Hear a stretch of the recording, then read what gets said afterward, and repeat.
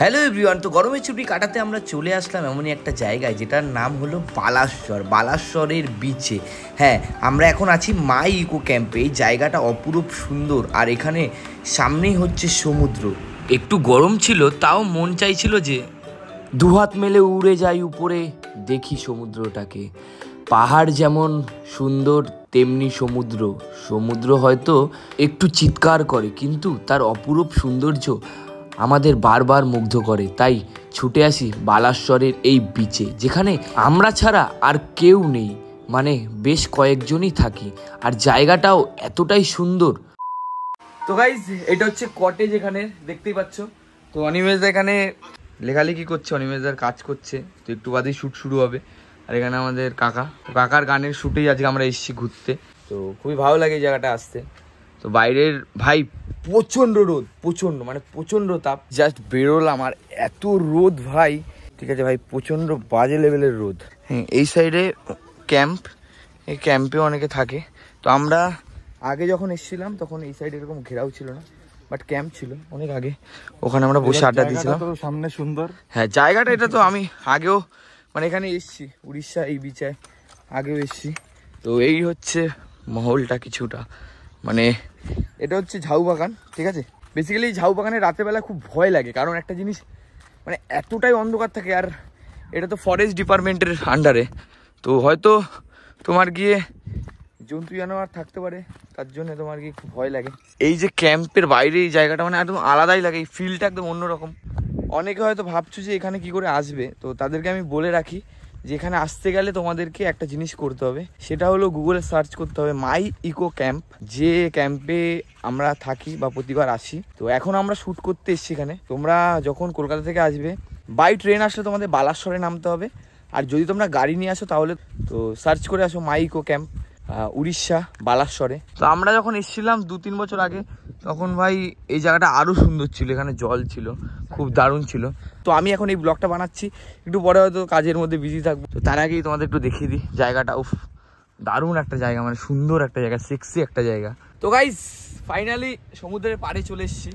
ঠিক আছে? তো দেখতে পাচ্ছি সমুদ্র এখন জোয়ার আছে, তখন ভাই ভাটা ছিল। তো দারুণ লাগছে সেক্সি লাগছে। কেউ নেই একটা মানে আলাদাই লাগছে। তো এই বিচটা কিন্তু এই কারণেই ফেমাস এত। কারণ এটা ভার্জিন টাইপের বিচ মানে এখানে কেউ থাকে না। বাট এই যে দেখো কিছু ছেলেমেয়েরা স্নান করছে, এরা হয়তো ক্যাম্পে এসে মানে কেমন লাগছে তোমার এখানে এসে? দারুণ লাগছে না? রাতের বেলা আরও ফিল লাগবে মানে একদম অন্যরকম একটা ব্যাপার লাগবে। এই ছাতাগুলো রিসেন্টলি লাগিয়েছে, উফ, কি লাগছে তোমার ভাবো, এখানে এসে গার্লফ্রেন্ড বয়ফ্রেন্ড কেউ থাকবে? উফ মানে জাস্ট মানে সেটা ভাঙা, আমার কথায়। মানে আলাদাই লাগছে, আর এই সাইডটা দেখো পুরো জঙ্গল আর জঙ্গল পুরো। পুরো জঙ্গল ওইদিকে। জিনিস যেটা হচ্ছে পুরো বিচটা ফাঁকা। হ্যাঁ হ্যাঁ। লোকজন কি কেউ নেই। হ্যাঁ এটা হচ্ছে সব থেকে ভালো জিনিস। আমি মাথা থেকে মাথা টানা ফাঁকা। ফাঁকা হ্যাঁ। তো ভাই এখন আমরা দুপুরে লাঞ্চ করছি সবাই মিলে। মোটামুটি যা খাবার দাবার আছে এত খাবার দাবার যদি আমি বাড়িতে খাই আমার মা খুবই খুশি হবে যে এত খাবার দাবার আমার ছেলে খাচ্ছে। মানে ভেটকি মাছ কাঁকড়া এই ওই।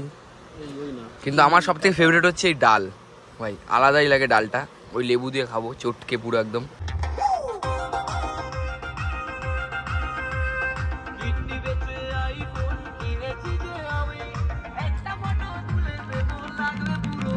তো গাইজ এখন আমরা হচ্ছে তোমার গিয়ে এই গাড়িটা চালাবো, ঠিক আছে? তো এখানে দাদারা এসছে, খুব দারুণ লাগছে। এ, সরে যাও সরে যাও অনিমেষ চালাতেই পারে না বাইক ভাই রাত্রিবেলা বনফায়ার হচ্ছে, আর এখানে হচ্ছে অনিমেষ দা রয়েছে, এখানে সব আমাদের আর্টিস্ট রয়েছে। তো আজকে আমরা বনফায়ার করছি, এটা রাতের বেলা উফ, আলাদাই লাগছে। তো গাইজ আজকে হলো সেকেন্ড ডে ঠিক আছে? তো আজকে আবার শ্যুট চলছে, কালকে হাফ বেলা শ্যুট হয়েছে পুরো শ্যুট হয়নি, আর রাতের বেলা কিছুটা ওখানে সিন হয়েছিল। বারবিকিউ যেখানে বানায়। জায়গাটা দেখো, এতটা উঠতে হয়। তো আগেও আমি এই ক্যাম্পের একটা ভিডিও বানিয়েছিলাম, কারণ তখন এসেছিলাম অনেক আগে। তো ওই ক্যাম্পের দাদাদের সাথে খুব ভালো সম্পর্ক। তো এখন নেই দাদারা দাদারা দিল্লিতে গেছে। তো এখন আমি যাচ্ছি হচ্ছে শ্যুটের ওখানে। লেট করে ফেললাম অনেক, কারণ আমি কালকে রাতে চারটে অবধি জেগেছিলাম। সকালবেলা উঠতে উঠতে লেট হয়ে গেল। তো এখন যাব হচ্ছে শ্যুটের ওখানে, অনিমেদের সঙ্গে কথা বলব। জঙ্গলটার মধ্যে থেকে যেতে ভাই ভয় লাগে, বিশ্বাস করো। মানে অন্যরকম একটা লাগে, একা একা যাচ্ছি। সামনে দেখো পুরো ফাঁকা। এখানে গান চলছে, হরে রাম, হরে কৃষ্ণ। আর সামনে ঢেউটা দেখো গাইজ আজকে ঢেউটা হালকা পাতলা দিচ্ছে, ঠিক আছে? কালকে একদম বাজে মানে ঢেউই ছিল না, কারণ আজকে মনে হয় জোয়ার এসছে এই যে। তো ঢেউটা তোমাকে দিচ্ছে। আর এই জায়গা থেকে যেতে যে কি ভালো লাগে, মনে হয় যে মানে জঙ্গল থেকে বেরোলাম, সামনে হ্যাভেন তো ওই যে অনিমেষ দ্বারা আর এই জায়গাটা দেখো এত সুন্দর একটা জায়গা, বেশ সেক্সি একটা জায়গা, খুবই দারুণ। তো ওই যে দেখতে পাচ্ছ বলা সেটাতে ড্রোন উড়াচ্ছে। গুড মর্নিং গুড মর্নিং শুভ সকাল। কটার সময় উঠছো? সাড়ে সাতটা। আমি কটা উঠে জিজ্ঞেস কর? কটার সময়? পাঁচটার সময়। পাঁচটার সময়? আর সব তখন নাক ডেকে এরকম করে উল্টায় ঘুমাচ্ছিস। সরি সরি ভাই একটু টাইম নিস। একটু বেশি দৌড়স। দৌড়ানোর পরে দৌড়ানোর পরে।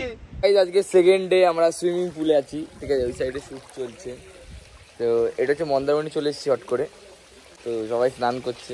অসীম তো আমার মানে রিসেন্টলি র্যাপ শ্যুটটা করছে এই শ্যুটটা করছে। অসীম কেমন এক্সপিরিয়েন্স হেভি এক্সপিরিয়েন্স হেভি না? দুঃখের বিষয়ে ভালো ভালো জায়গার সময় কেটে যায় শটগুলো তাই? নিতে ই করতে পারছে না না? হেভি লাগে তখন। কালকে দারুণ দারুণ শট নিয়েছিস ওই যে ওই কি বলে? পাখির শটগুলো হ্যাঁ। হেভি লাগছে। কালকে ওই শটটা আমি অনেক দিন ধরে ট্রাই করছিলাম। তাই? কিন্তু পেয়ে গেলাম। ছাড়ছিস কোথাও ওটা ইনস্টাগ্রামে না আমার ইউটিউব চ্যানেলেও ছাড়বো একটু। তো ইউটিউব চ্যানেল নাম কি? অসীম বড়ান অসীম বল তো গাইজ ফলো মি ভাইকে। ভাই আমাদের হাবড়া অসনগরের ছেলে এলাকার ছেলে। তো গাইজ আমরা যাব এখন বাড়ির দিকে ঠিক আছে? তো বুঝতে পারছ লাস্টে ফটো সেশন হলো ঠিক আছে? এখানে করলাম। আর তোমরা সবাই এই ব্লগটা কেমন লাগল সবাই কমেন্ট করে জানাও। আর অবশ্যই শেয়ার করো। আর এই ক্যাম্পে আসতে হলে ঠিক আছে? তোমাদের তো সব পুরো ভিডিওটা দেখতে হবে কি করে আসতে হবে। উড়িষ্যা হয়ে আসতে হবে বালাসরে নেমে আসতে হবে। তো এদের বিহেভিয়ার খুবই ভালো। তো দেখা হচ্ছে তোমাদের সবার সাথে।